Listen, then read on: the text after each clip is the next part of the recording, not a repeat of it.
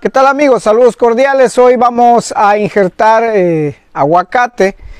Acá en la Amazonía hay aguacates que da miedo, pero hay pocas plantas, algunos vecinos nada más que tienen un aguacate grande, pero del color de la corteza morada. Nuestro vecino, hoy vemos a mis espaldas un vecino vino que le injertáramos una planta. Él se ha tomado la molestia o el tiempo de hacer una plantita de aguacate en un vivero y ha traído esta plantita que le demos injertando este aguacate. El patrón de este aguacate es del normal, del verde, pero en ese le vamos a insertar otra vareta del aguacate que les estamos hablando, corteza morada. Vamos a acercarnos entonces, el vecino está esperando ahí. Y vamos a, vamos a hacer este tipo de prácticas porque realmente el conocimiento también es compartir. La buena vecindad no es solamente llevarnos eh, nosotros este conocimiento. Algún día nosotros nos vamos de este mundo, pero este conocimiento compartido queda en otras generaciones. Aquí está nuestro vecino Juan Ceballos. Hoy nos ha traído esta vareta. Esta es la vareta del... Sí, esta es. Del, del aguacate morado. Miren, y justo la ha cosechado en época que ya está comenzando a, a producir el, aguacate. Es una flor que ya fecundó y está en, en fruto ya. Y de acá nosotros vamos a sacar la vareta para insertar en esta plantita que él se ha tomado el tiempo pacienciosamente para hacer. Aquí le han cortado, no sé qué pasó, luego le cortaron acá y nosotros vamos a hacer un injerto de corte lateral. Si este no funcionara, le vamos a hacer un corte aquí terminal y ese sí estamos al 100% que lo haremos germinar. Para esto nosotros necesitamos limón, limón casero. ¿Para qué nos sirve el limón? Nosotros siempre utilizamos la tijera e, y me incluyo yo. A veces podamos, pero guardamos sin desinfectar. Entonces antes de hacer un injerto nosotros colocamos el limón, perdón, estamos un poco afónicos un poco de limón para desinfectar las herramientas que van a ser utilizadas en el, en el injerto. Luego que hacemos esto, también se desinfecta de la misma manera la navaja. La navaja, por lo consiguiente, la mayoría de los injertadores sabemos bien que estas son las mejores, son inoxidables, pero de la misma forma. A veces nos olvidamos de desinfectar y las guardamos y es mejor cada, cada uso que le vayamos a dar a las herramientas desinfectar. Pero lo, lo correcto sería cuando terminamos de hacer una actividad de injerto o podas, desinfectar las herramientas y guardarlas. Luego cuando vamos a utilizar nuevamente, volver a desinfectar. Entonces ya he hecho la desinfección de estas, de estas herramientas.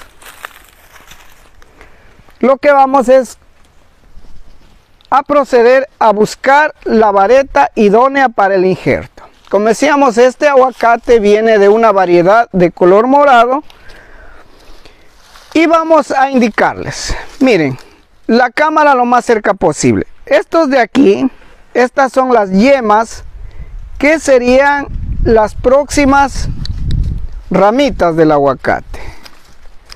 Si ustedes pueden ver, aquí tiene las yemas vivas y esto nos da la seguridad que sí va a prender la vareta.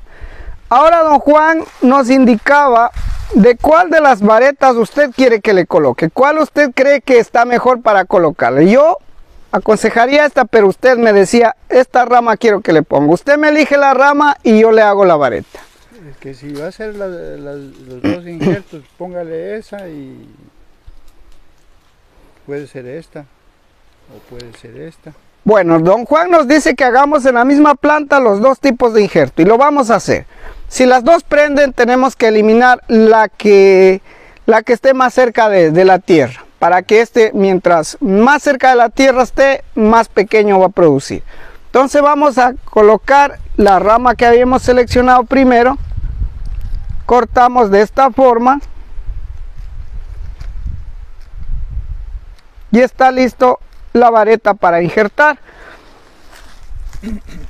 Entonces, ya desinfectada la navaja, vamos a poner por este lado la cámara, por favor. Una vez desinfectada la, la, vareta, lo que hacemos es el corte lateral. Un corte estos, de estos. Listo. Luego vemos que largo está esto, está muy largo. Lo que hacemos es cortar la vareta y le hacemos una pequeña estaquilla. Del un lado le bajamos bastante y del otro lado solo un poquito. ¿Por qué un poquito? Porque la parte que quede menos, menos sacada la corteza va a tener más savia y va a tener más seguridad en prenderse. Luego que ya está hecho, lo que hacemos es colocar a presión y está listo. Listo, ahí entonces lo que tenemos es esta piola que conocemos como piola para tomate. y vamos mirando más o menos el ancho del, del tronco principal calculando que dé dos vueltas y le cortamos la cinta y comenzamos a hacer lo que es el, el embalaje o envuelto desde abajo. Una presión que le hacemos vamos apretando ni tan duro ni tan suave. Como hemos hecho en otros injertos y hemos compartido el mismo procedimiento. Solo que esta es una planta de aguacate y está a la cuenta, lo llamaríamos un injerto en vivero, no en, directamente en la planta definitiva. Listo, está listo este. Ahora, nos decía don Juan que hagamos de los dos tipos de, de injertos. Y también vale este. O este también. Ya. Igual de igual forma miramos que las yemas estén vivas despiertas para hacer el otro injerto en corte terminal le dejamos unas dos hojas a medio cortar como para que le dé vida a la a las yemas hasta cuando estas empiecen a a germinar Está media dura esto, pero le hacemos ahí, más o menos. De la, de la misma forma, cogemos tratando de no dañar las, las yemas. En lo posible no agarrarlas mucho las yemas porque son muy sensibles. Y hacemos una especie de paleta. Luego de haber hecho esto, nosotros lo que vamos a hacer es cortarle la base principal y le vamos a partir por el centro. No tan al centro, pero hay que partirlas. Y le insertamos la vareta que hemos hecho aquí. Si es posible con la misma navaja, bueno, yo lo hago así. y está lista. De la misma forma, cogemos una piola y le hacemos una pequeña presión y le apretamos. ¿Esto qué quiere decir con este tipo de injerto? Si la una no, no prende, nos da la seguridad que la otra sí prenderá. Y luego veremos de los dos injertos cuál funcionó y quedará lista para que esta crezca y luego llevar al terreno definitivo. ¿Cuántos días tenemos que dejar esto aquí? 25 días, 21 días a 25 días. Eso los, los injertadores saben muy bien que ese es el tiempo necesario para abrir un injerto. Ahora, como le hemos hecho dos, si hubiese hecho solo esta de acá, corte lateral, me tocaba partir esta funda de hielo, funda para hacer hielo, la partía, sacaba una pequeña franja e iba envolviendo hasta que forre acá, que no entre oxígeno acá. Pero como le hicimos dos, yo voy a utilizar la funda entera.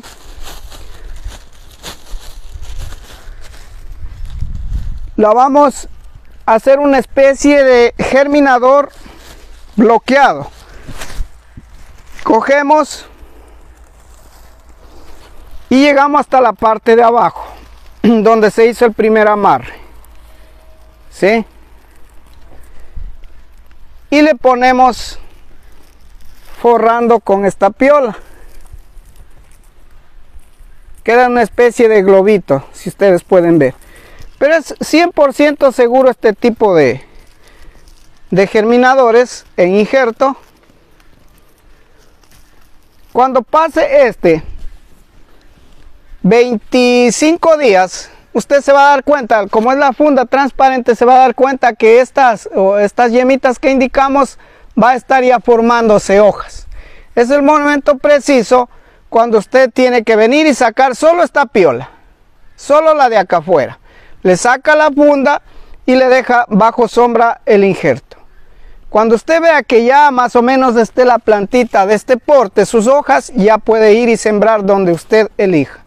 Eso es, mis queridos amigos, lo que queríamos mostrar sobre el tema de los injertos en aguacate. Dos formas, corte lateral y corte terminal. Hay otro tipo de injertos, pero hoy no lo vamos a hablar. Hay el, el injerto de yemas, bueno, en fin. Pero eso, mis queridos amigos, para que usted lo practique en casa y pueda tener sus propios injertos hechos con sus propias manos. No sé si don Juan quiere decir algo, cómo lo vio, fácil, difícil. Cuente. Para mí me gusta, me gustaría aprender y hacer el trabajo propio, pero ya, ya lo estoy viendo, ha sido muy, muy fácil ver, pues no, y vamos al, trabajo, pues no, hacer el, el injerto. Me gustaría aprender. Gracias. Y el día que estos germinen, por favor, cuídelo como a su hijo, con sombrita, protegido, hay que regale agua después del injerto. En los 21 días a 25 días vamos a hacer otro video con don Juan para mostrar el resultado de los injertos del aguacate. Por lo pronto eso es lo que hemos querido compartir mis queridos amigos, gracias a quienes comparten nuestros contenidos. Eh, gracias por seguir Comunicación Comunitaria Amazónica, la página Voces y Justicia y otras páginas aliadas que siempre comparten nuestros materiales. Hasta pronto.